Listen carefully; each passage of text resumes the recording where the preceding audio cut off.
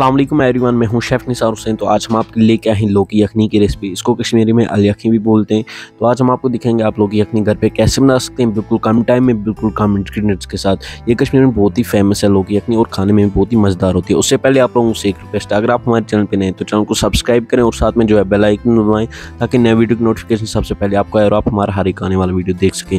लौकी यखनी के लिए पहले हमने यहाँ पे लौकी ले ली। इसको इस तरीके जो है काट लिया हमने, इतने बड़े पीसेस कर लिए। इसको जो है हमने पानी में डाल के वाश कर लेना, अच्छे तरीके से और इसका जो पानी है ड्रेन कर देना बाद में।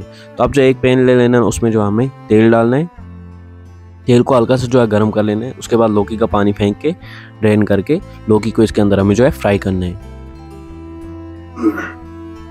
तो ये देखिए जी, लौकी इसके अंदर डाल देंगे। तेल हमारा ज़्यादा गर्म नहीं होना चाहिए। और इसको जो है फ्राई करना है, बिल्कुल कम फ्लेम पे हमें जो है फ्राई करना है। फ्राई करने में हमें जो है 10 से 15 मिनट लग जाते हैं।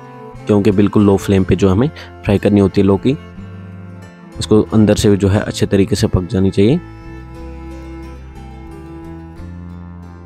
तो ये देखिए जी।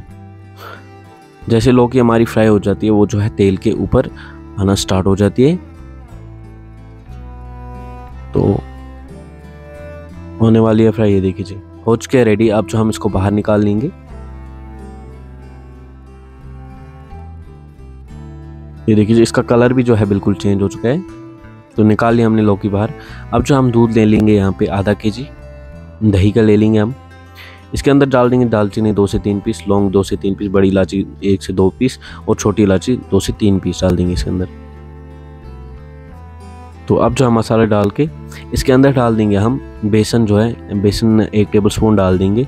बेसन से क्या होगा, हमारा दही जो है वो गाढ़ा भी हो जाएगा और जो फटने के चांसेस हैं बहुत कम हो जाएँगे।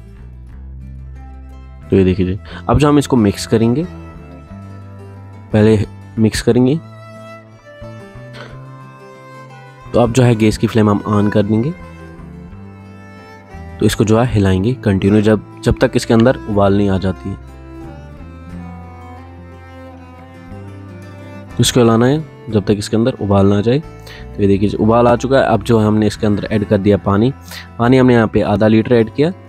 अब जो इसको उबालेंगे अच्छे तरीके से इसके अंदर स्पाइस ऐड करेंगे सौंफ पाउडर एक table spoon dry ginger powder एक टेबल स्पून धनिया पाउडर एक टेबल स्पून और डाल देंगे थोड़ी सी कसूरी मेथी।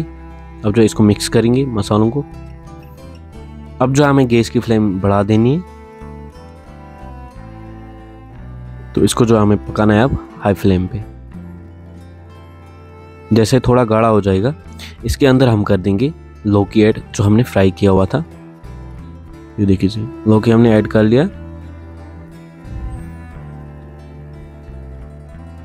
अब लौकी को भी हमें इसके अंदर थोड़ी देर पकाना है। और डाल देंगे साल्ट अपने टेस्ट के हिसाब से। अब ताकि जो हमारी ग्रेवी का फ्लेवर है वो लौकी को अंदर तक जाए पूरा। ये देखिए अब जो हम सर्व करने जा रहे हैं तो हो चुकी है रेडी हमारी लौकी यखनी तो अगर आप नदरू यखनी या फिर चिकन चिकन गोश्ताबा की वीडियो देखना चाहते हैं, डिस्क्रिप्शन में लिंक आप जाके वहाँ पे चेक कर सकते हैं। तो हमारी लौकी यखनी जो है रेडी हो चुकी है। अगर आपको हमारा ये वीडियो पसंद आए, वीडियो को लाइक, शेयर, कमेंट ज़रूर करें। चैनल को सब्सक्राइब करना बिल्कुल ना भूलें और वीडियो को अपने फ्रेंडों के साथ अपने फ्रेंड के साथ ज़रूर शेयर करें। मिलते हैं अगले वीडियो में, तब तक के लिए अल्लाह हाफिज़।